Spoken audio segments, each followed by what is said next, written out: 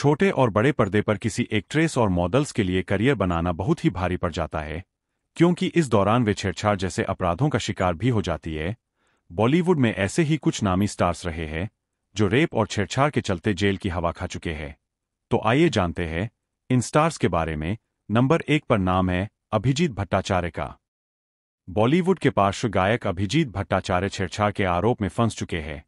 उन पर एक लड़की ने दुर्गा पूजा समारोह में उसके साथ छेड़छाड़ हुआ था। इसका आरोप लगाया था और एफआईआर भी की थी। नंबर दो पर नाम है विशाल ठक्कर का। टीवी एक्टर विशाल ठक्कर पर भी एक टीवी एक्ट्रेस का बलात्कार करने का आरोप लगा था।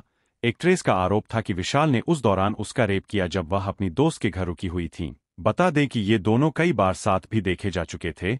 नंबर तीन पर नाम है अमन वर्मा का। टीवी और बॉलीवुड अभिनेता अमन वर्मा काफ़ी चर्चित एक्टर रहे हैं।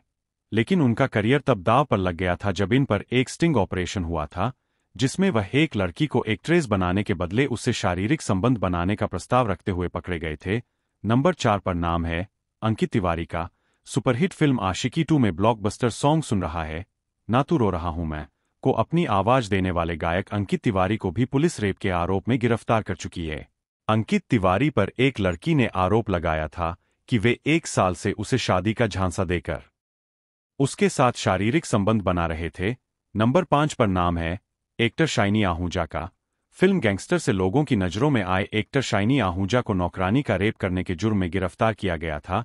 नौकरानी का आरोप था कि शाइनी ने उसका रेप किया और शिकायत करने की धमकी भी दी। शाइनी ने पहले इन आरोपों को नकारा लेकिन बाद में गहन पूछताछ के बाद अपना अपराध कबूल कर लिया था।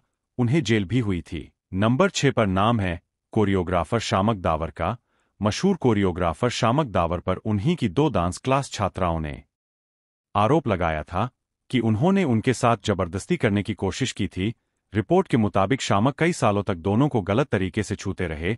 शामक ने इन आरोपों को झूठा बताया और उनके खिलाफ कोई कार्रवाई नहीं हुई। नंबर सात पर नाम है, निर्देशक मधुर भंडारकर का। फ़ैशन जैसी सुपरहिट फ़िल्म बनाने वाले निर्देशक मधुर भंडारकर पर भी मॉडल प्रीति जैन को लीड हीरोइन बनाने का झांसा देकर उसका रेप करने का आरोप लगा था। लेकिन कोर्ट में ये आरोप साबित न हो पाने के चलते वह छूट गए।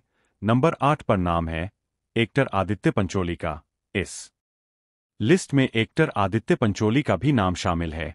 उन पर अपनी पंद्रह साल की नौकरानी का बलात्कार करने का आरोप था। दरअसल आदित्य ने उस नौकरानी को एक्ट्रेस बनाने का झांसा देकर उसके साथ शारीरिक संबंध बनाए थे। बता दे कि नौकरानी बालिग नहीं थी, इसलिए आदित्य पर रेप का आरोप लगा था। नंबर नौ पर नाम है निर्देशक दिबाकर बैनर्जी का। आखिर में बात करेंगे निर्देशक दिबाकर बैनर्जी की, जिन पर भी एक्ट्रेस पायल रोहतगी के साथ छेड़छाड़ करने का आरोप लगा था। पायल की शिकायत के मुताबिक दिबाकर उनके घर देर रात आए और उनसे कहा कि उन हे वज़न घटाने की ज़रूरत है।